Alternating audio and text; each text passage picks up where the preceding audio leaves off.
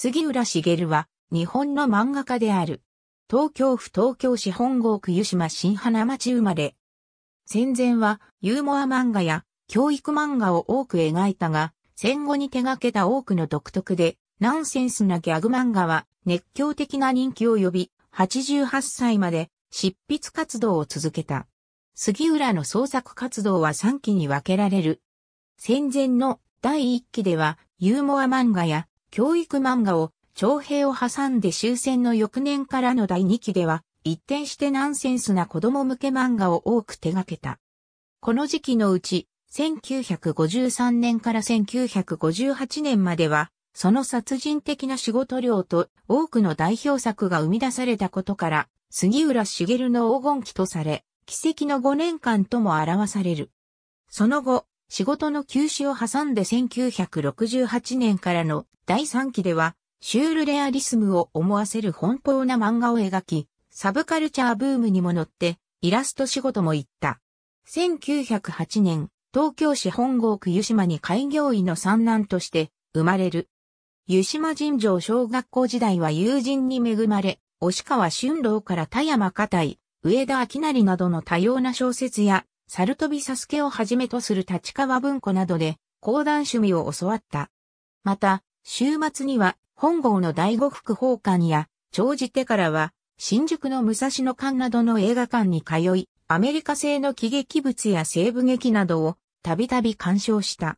20歳頃からは兄が定期購読していた新青年にも親しみ、これらの文物が後の漫画創作の下地となった。幾分間中学校時代に当時の人気漫画家北沢楽天とその一門に影響され、初めての漫画を描く。餅を題材にした4ページほどのこの滑稽なコマ漫画は後の漫画家人生の原点になった。しかし、その後も継続して漫画を描いていたわけではなく、杉浦によると漫画家になるまでは漫画への興味、知識は特になかったという。父親は杉浦を眼科医にさせたかったが、杉浦の夢はプロの西洋画家になることであった。中学時代に上級生から教えられた藤田嗣治に憧れ、また趣味で日本画を描いていた父と文店に通うことで、その思いを募らせた。1924年、父が過労によって当時流行していた市民性脳炎を患い休止。二人の兄が医学校に進学したこともあって家計が悪化し、杉浦は美術学校への進学の道を立たれる。その後、医者になった兄の金銭援助を受け、1926年から1930年まで太平洋絵会研究所に入所。西洋画の制作に取り組む。人物画のモデルを雇うには金がかかるいうこともあり、杉浦は好んで西洋建築のある風景画を描いた。外出して写生をしているうちに野獣派の長谷川俊之や横山淳之介と知り合うことにもなった。また、研究所とは別に1927年から1931年まで洋画家の高橋虎之助にも指示。1930年には日展の前身である第11回定定に洋画部に油彩の風景が夏の定大で入選している。すべての生活の糧を二人の兄に頼っていた杉浦は一年発起して洋画家とは別の道を目指すことにする。知人から田川水宝への紹介状をもらい、その後3ヶ月、勝手のわからない漫画家の道を目指すかどうか悩んだ末、1932年4月1日、小石川の高級アパート、クセ山ハウスを訪ね、田川の門下となった。田川はこの時、すでに野良黒により売れっ子作家となっており、杉浦もその名前は知っていた。入門の数日後には、山梨から上京してきた倉金虎尾も門下になり、それまで弟子がいなかった田川に、二人の門下生ができた。田川の妻、高見沢純子によれば、弟子といえば、杉浦茂が一番弟子であり、荻窪の家へは時々訪ねてきて、倉金翔介やその他の若い人たちとよく一緒に集まっていたが、その後はあまり家に来なくなった。という。ただし、杉浦は戦後の1947年にも、その頃荻窪にあった田川の家を訪れており、信仰が全く途絶えたわけではなかった。田川は制作環境に接していれば漫画は自然とわかるものだという考えから指導を特に行わなかった。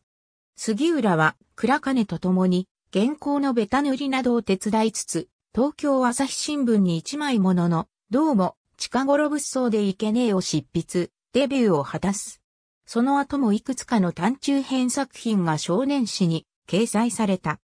しかし、杉浦はネタの引き出しが少なく、苦肉の策として別の雑誌に同じネタを使い回すこともあり、この傾向はその後も続いた。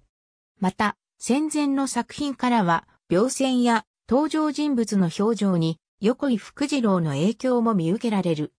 杉浦のもとには、洋画家の岩月信澄と日本画家の加藤宗夫という同い年の二人の親友がアシスタントに入った。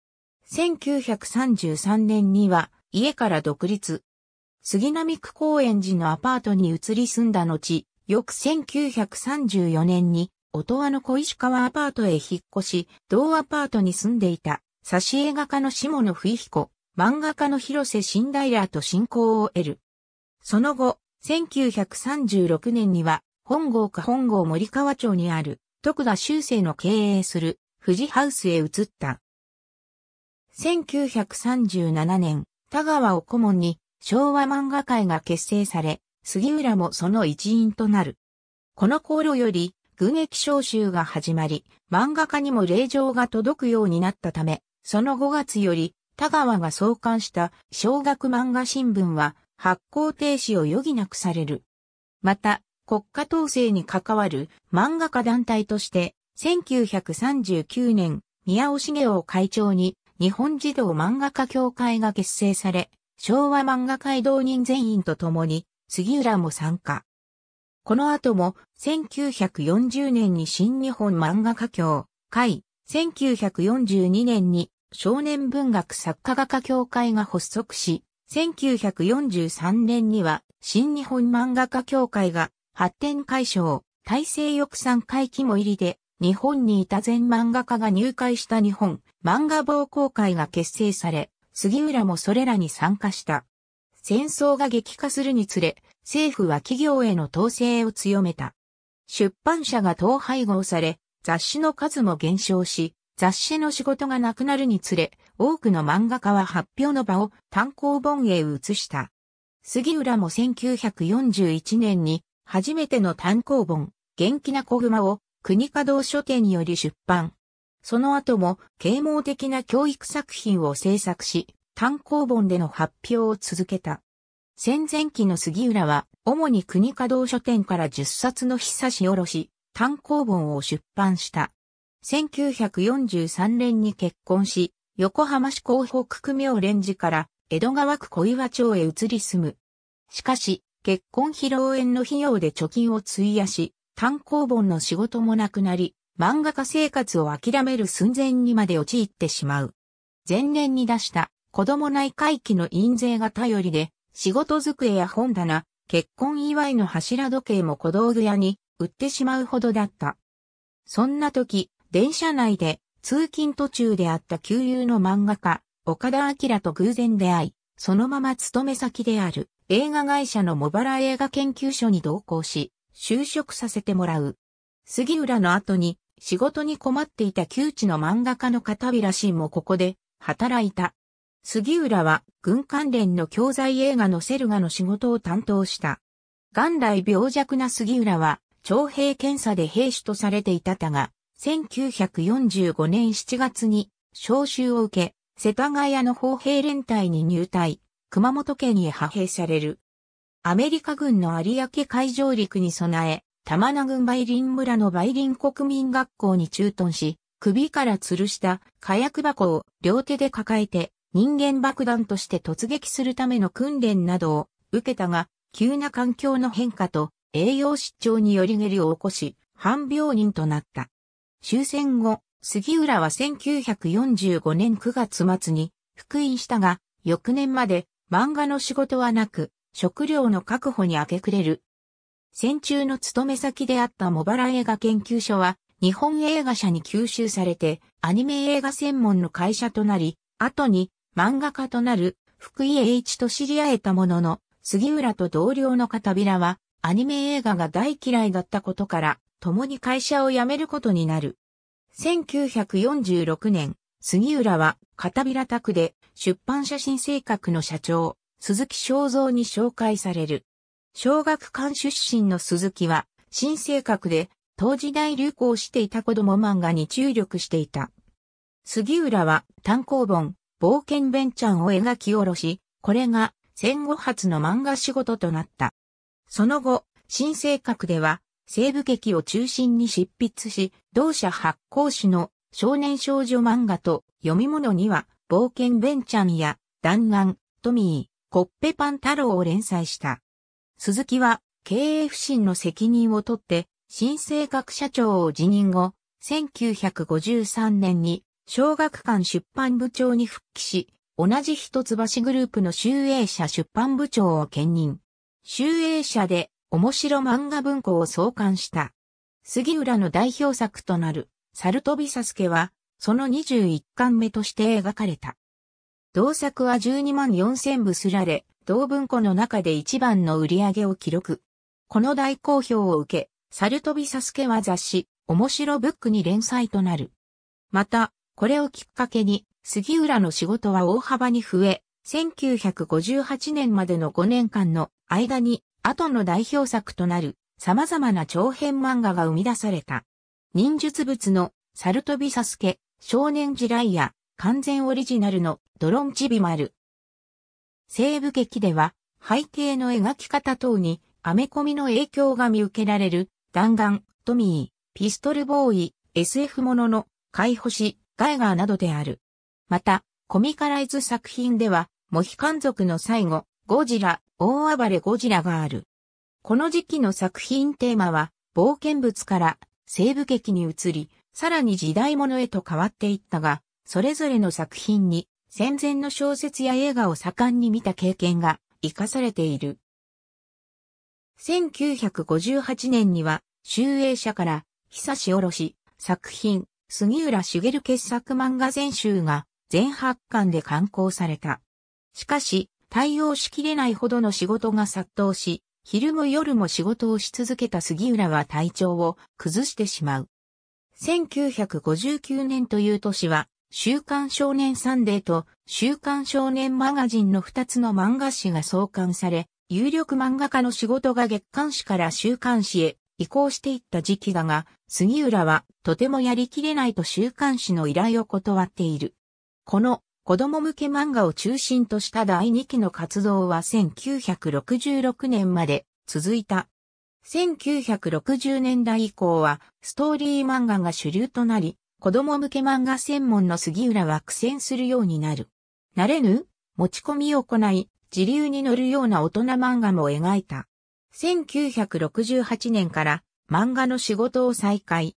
この時期は、とにかく漫画は面白さが大切という考えから、さらに作風が奔放になり、アートのようなシュールレアリスティックでサイケデリックな作品を多く手掛けた。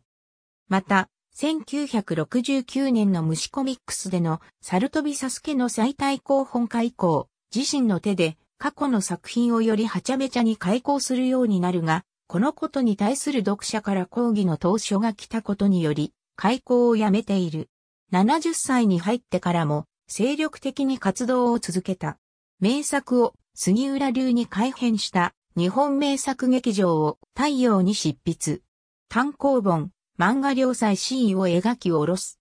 また、1980年代から杉浦のナンセンスでシュールな作風がサブカルチャーの交流とともに再評価されると、1989年の第29回児童文化功労者に選出された。さらに、杉浦の作品集が何度か編まれている。また、この他にイラストの仕事も手掛けている。森永製菓、棒チョコのパッケージイラストや有楽町西部の開店を宣伝するポスターと CM のキャラクターのデザイン、ソニー、日立、横浜ドリームランド、ニコンへのイラスト提供、筒井康隆、お助け、三丁目が戦争でスキンの星社と糸井重里、私は嘘が嫌いだ、ちくま文庫の挿絵などである。1996年、88歳になった杉浦は、杉浦茂漫画館第5巻のために2901年宇宙の旅を久しおろし、64年に及んだ長い長い画行を終えた。1999年、杉浦は交通事故で腰の骨を折って寝たきりになり、その後椅子に座れるほどには回復したものの、2000年4月23日、入院先の病院で腹膜炎により死去した。92歳だった。杉浦の原稿は、散逸がひどく、死後も作品の発掘が進められている。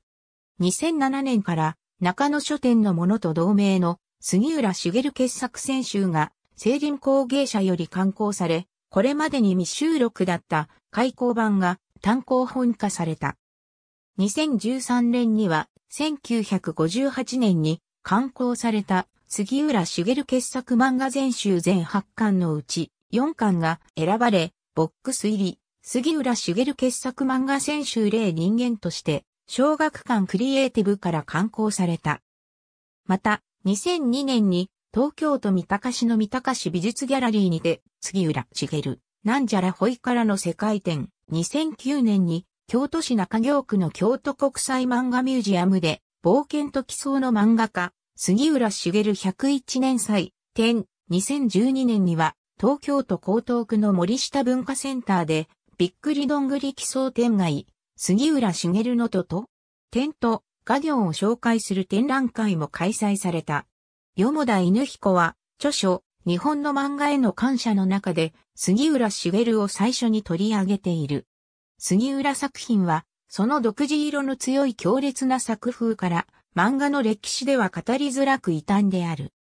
同時代に活躍した手塚治虫も戦前から杉浦のことをユニークな作品を描く漫画家として注目していたが、田川水訪問家とは、つゆ知らず、倉金義行さんとは一線を画した独立、独歩の作家だと思っていたと語っている。後友秀は、杉浦作品を戦後復興期から高度成長開式という現代、漫画成立期でも特筆すべき存在とし、前世紀の1950年代でさえ、様式的でないギャグや超現実的なものが応一する。作風は異質であり、時代を先取りするものであったと評する。米沢義弘は、杉浦茂の世界をメタモルフォセスと、非人変人と食い物に溢れ返った漫画ゆえのデタラメで自由な世界と表現した。杉浦作品の大胆な筋運びは、杉浦の漫画に対する独特な姿勢が大きく影響している。普通は構想をまとめた後にネームや下書きなどを経てペン入れに至るが、杉浦は頭の中で大体の構想をまとめた後、下書きをせずに一発でペンを入れ、執筆途中でも、こちらの方が面白いと思い立ったら話の筋を曲げるようなことを頻繁に行っていた。弟子の斎藤によれば、杉浦は、僕はね、話が前と繋がってなくてもいいんだよと語っていたという。こうした奔放さは、杉浦作品の醍醐までよく見る。物語の筋と関係ない群衆が主要登場人物を埋没させるほどに点でバラバラに行動し、おしゃべりしたり歌ったりするお祭り騒ぎのような賑やかさにも現れている。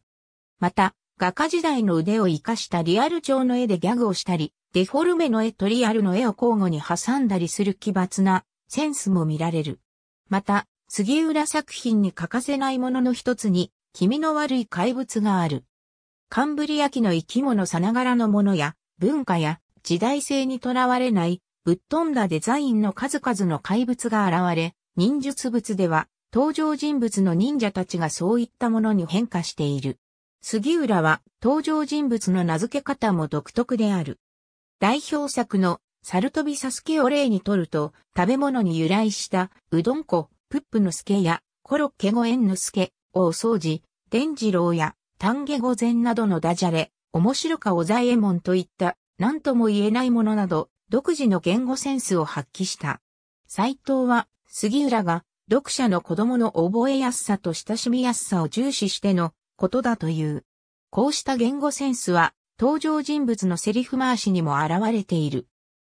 例えば、杉浦のプロレスマニアぶりが発揮された、ケント、ケンタや、プロレスの助では、エイと狂気も辞さない、激しい格闘、暴力で倒された相手が、パや、パってなどの一言悲鳴を上げたり、ふわ、ほわ、ふいてなどと笑顔で断末魔を上げたりするところは、読者に牧歌的な印象を与える効果が出ている。歌を歌う群衆について前述したが、主要人物もよく歌を歌っている。猿飛びサスケでは、真田重勇士の一人三好青海入道が、知らない前に食べちゃったと他人の食べ物をテンポよく歌って歌詞で状況を説明して、つまみ食いをするギャグを披露している。戦後の黄金期、杉浦には3人のアシスタントがいた。戦前から引き続き、友人、加藤宗夫が杉浦を手伝っていたが、加藤はその後早くに逝去。この加藤以外の二人が杉浦の弟子で、一人は斎藤明、もう一人は藤巻五郎である。藤巻は数年で引退したため、長く杉浦の元に残ったのは斎藤だけだった。戦前の杉浦は漫画の素人だったにもかかわらず、師匠の田川から漫画について直接教わらなかったが、斎藤も1954年の入門当時、印刷工場勤務の傍ら定時制の高校に通う10代の少年であり、漫画については、高校の新聞部で1コマ漫画を描いた経験がある程度だった。斎藤は杉浦が近くに住んでいることを知って、親しみを持ち、ファンレターを出した。すると、杉浦から地図付きの返信が届き、江戸川区小岩町の自宅に招かれた。訪問当日、杉浦と談笑した後、急に杉浦が書きかけの原稿の余白に絵を描くことを指示した。この時斎藤は自分が絵を描くことを伝えていなかったし、また漫画は好きだったものの漫画家になるつもりは全くなかった。斎藤本人は手伝いはこれきりにするつもりだったのだが、また杉浦から手伝いの依頼が来て、ついに入門することになったという。杉浦と斎藤は漫画のアイデアの出し方など、漫画制作の根本に関わるようなことはほぼ話し合わなかった。ただ、田川がそうだったように、杉浦も斎藤には仕事を紹介した。斎藤は、長寿で漫画技術を習得して杉浦以外にも、高野義輝や手塚治虫、横山光輝の下でもアシスタントを経験し、独立してジャガープロを設立した。その後、ジャガープロは赤塚藤尾の藤尾プロダクション、斎藤藩となり、斎藤は赤塚のアシスタントも務めたが、他の漫画家のそれと比較して、杉浦の仕事ぶりの独特さに驚いたという。アメリカ手話で I love you 杉浦への弟子入り後に藤尾プロに入った斎藤が語るように、赤塚藤尾は杉浦茂のファンで登場人物のレレレのおじさんのレレレは杉浦作品から来ているし、それ以外にも、値のことさとか、いっけねえ、痛いのなんのって、毛頭の定番のセリフにも影響も与えた。また、杉浦作品の登場人物が頻繁に見せる手のポーズに広げた指のうち、中指と薬指を曲げるポーズがあるが、このポーズは手塚治虫、鉄腕アトムや赤塚藤尾、天才、バカボン、石井被災地、ののちゃんでも確認できる。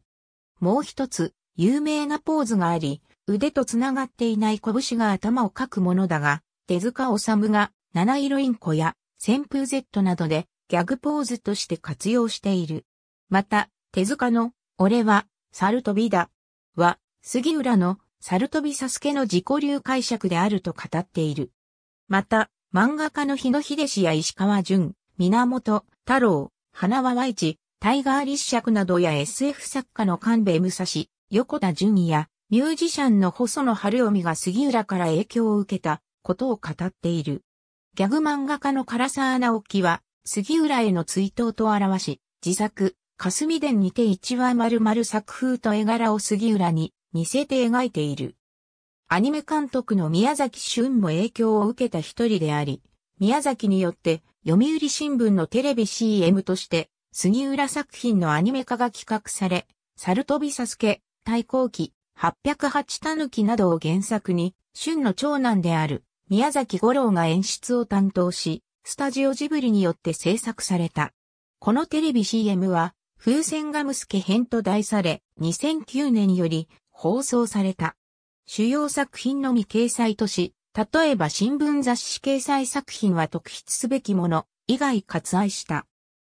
杉浦茂、杉浦茂漫画館、2901年宇宙の旅、第5巻巻末収録の杉浦茂、全作品リストを主に参考に、ペップ出版編集部編、杉浦漫画研究、丸ごと、杉浦茂ペップ出版、杉浦茂アンダーランド別館収録の小野寺、正美編、完璧作品リストで補足して作成した。1期2期3期。ありがとうございます。